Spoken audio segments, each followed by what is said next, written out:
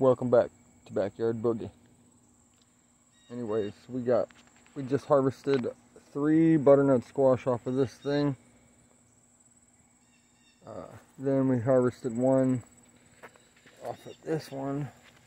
And I just fed them again and they started coming up with these. So I pollinated that one today. This one I pollinated a few days ago.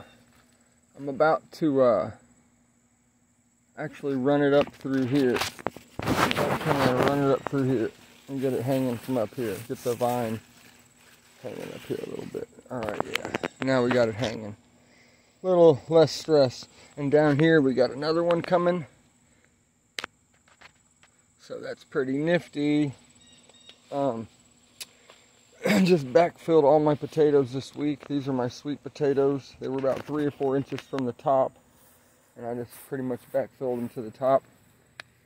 Uh, I forget which color this is. They're vining out pretty good. Over here, I just ate a couple peas.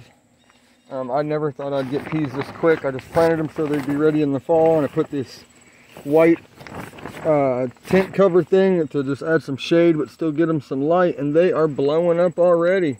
I'm going to have to plant a whole nother pea patch somewhere else.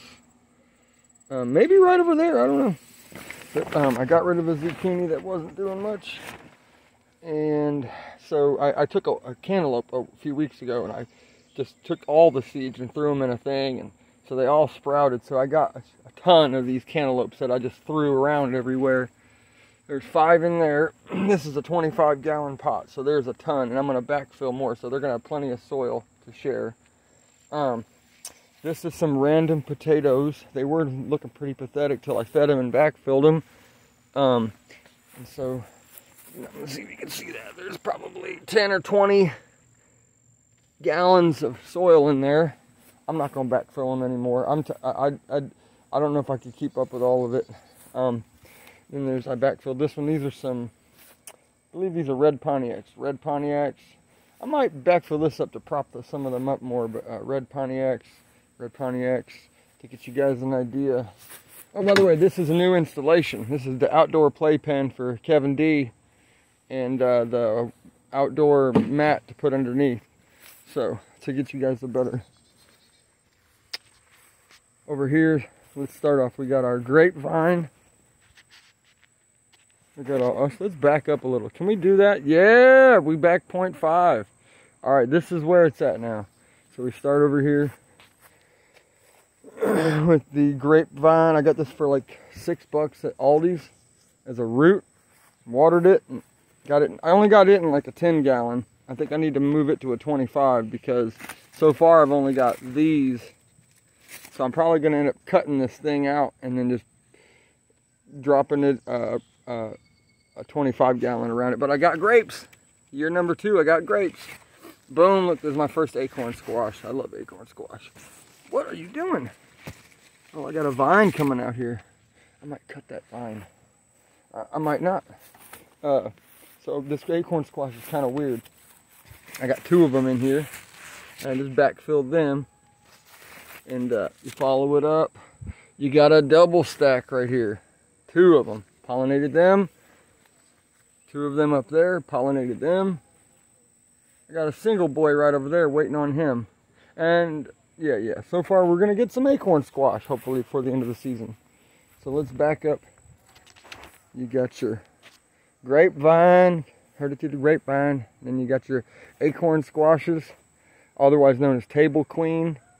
And we got our potatoes. Over here we got our catnip.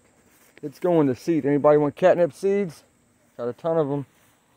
Um, I backfilled my corn, which is why this is this is out right now. But I'm going to secure that again here.